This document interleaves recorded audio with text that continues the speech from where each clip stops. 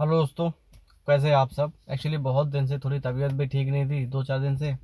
और सर्दी जुकाम हुआ था, जिसकी वजह से गले, गला ठीक नहीं था और वॉइस वगैरह भी क्लियर नहीं आ रही थी।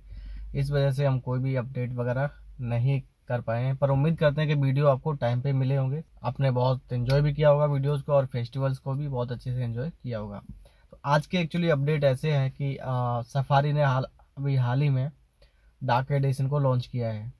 तो वो देख के मुझे बहुत हँसी आई थोड़ी सी।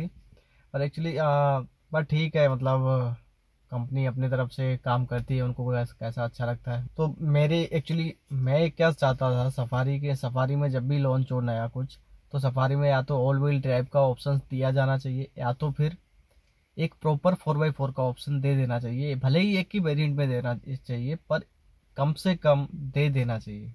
एक्स यू सेवन हंड्रेड ने ज़्यादा कुछ नहीं किया तो at least four four wheel drive का तो ऑप्शन दे दिया है, ताकि जिसकी वजह से आप पच्चीस, छब्बीस, सत्ताईस, अट्ठाईस लाख की इतनी महँगी गाड़ी ले रहे हो। उसमें एक्चुअली टॉप एंड वेरिएंट में तो ऑल व्हील ड्राइव का ऑप्शन मिलना चाहिए।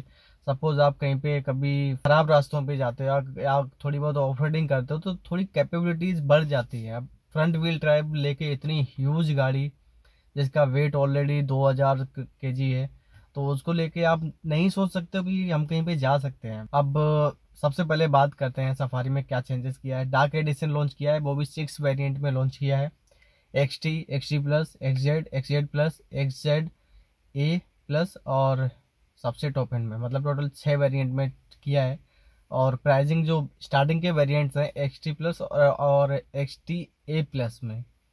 जो बीस हज़ार है, वो तो ठीक है जस्टिफाई करता है। बीस बाईस हज़ार रुपये की प्राइस होती है कलर्स के चूज़ करने के हिसाब से। ओके है। बट जो इसके टॉप एंड वेरिएंट है, भाई साहब, उसमें जो प्राइसिंग का डिफरेंस है, वो कितना गजब का है। वो है seventy two thousand Safari already दुनिया भर की महँगी करके रखी है भाई आपने। ऊपर से जो टॉप एंड वेरिएंट है, आपका ट्वेंटी सेवन लैख का मिलता है। अब वही ट्वेंटी सेवन लैख वाला, अगर आप डार्क एडिशन में ले तो आपको ट्वेंटी एट में पड़ेगा। भाई मतलब कुछ भी, ना ऑल व्हील ड्राइव आता है उसमें, ना ही कोई आपको ऑप्शन मिलने वाला है फोर बाई फोर का। तो मतलब क्या सेंस बनता है सिर्फ़ कलर चेंज करके थोड़े बहुत फीचर कॉस्मेटिक फीचर्स दे दिए, उसकी वजह से आप लाख रुपए, अस्सी हज़ार रुपये बढ़ा रहे हो। यार, इतनी अच्छी आपकी इमेज जा रही है इस टाइम पे, इतने अच्छे प्रोडक्ट्स लॉन्च कर रहे हो आप।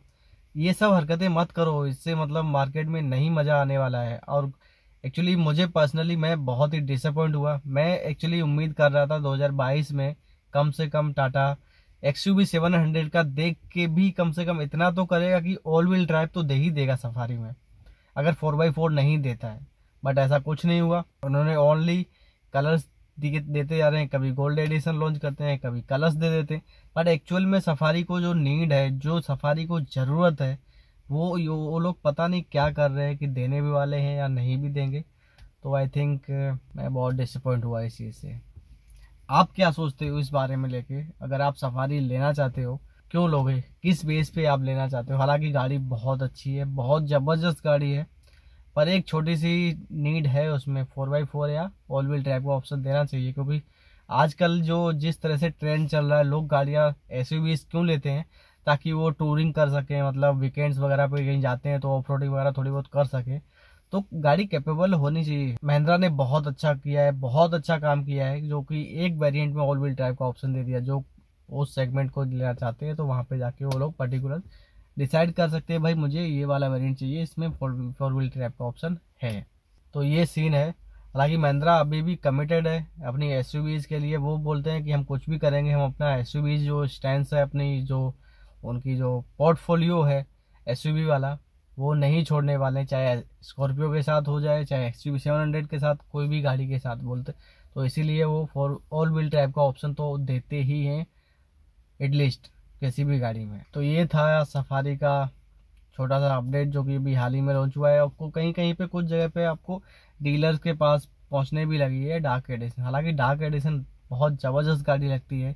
देखने में पूरा ब्लैक आउटडोर से इंटीरियर से। हालाँकि मुझे बहुत पसंद है। बाहर का तो कोई डिपेंड नहीं करता है, बाहर तो वाइट भी चलता है। पर इंटर इंटीरियर में मुझे ऑल ब्लैक का कॉम्बिनेशन बहुत मस्त लगता है। मुझे दूसरा कलर इंटीरियर के लिए जमता ही नहीं है। तो ये मेरा पर्सनल प्रोस्पेक्टिव है। तो वो हर किसी का कुछ भी हो सकता है।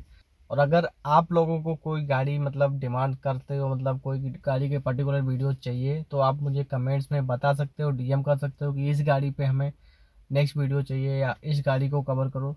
तो आप जैसे भी आपके कमेंट्स वगैरह रहते हैं तो उस हिसाब से भी हम कुछ आगे प्लानिंग कर सकते हैं कि कौन सी गाड़ी हमें अभी कवर करनी है। हालाँकि अभी ज़्यादा गाड़ी हम, गाड़ियाँ हमारे पास अभी अरेंजमेंट नहीं हो पाता है।